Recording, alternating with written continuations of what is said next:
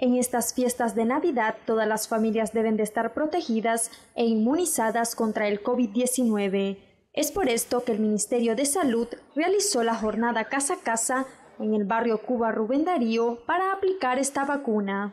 Sí, seguimos en la vacunación voluntaria contra el COVID casa a casa, eh, siempre invitando a la población de que eh, se vacunen eh, de tal manera de que todas las personas que por algún objetivo no hayan podido ir a vacunarse a los centros de salud, a los puestos de salud o inclusive en los hospitales, estamos en cada uno de sus hogares yendo a cada uno de los barrios, casa a casa. Eh, toda esta es una jornada intensa, trabajamos de lunes a domingo, andamos en todos los barrios de Managua.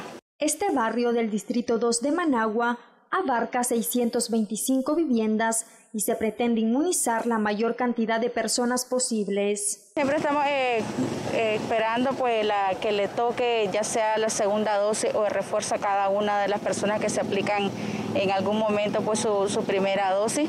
Eh, un intervalo de dos meses que se le aplica ya sea la segunda dosis y refuerzo. Eh, hay que estar pendientes con sus tarjetitas de vacuna y también pues hay personas que por algún objetivo se les ha perdido, se les ha dañado, no importa porque nosotros tenemos una manera de, de cómo poderlo identificar de que ya se aplicaron la vacuna.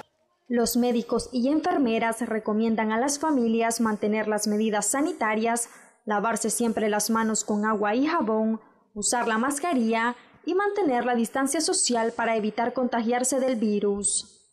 En Crónica TN8, Xochil Espinosa.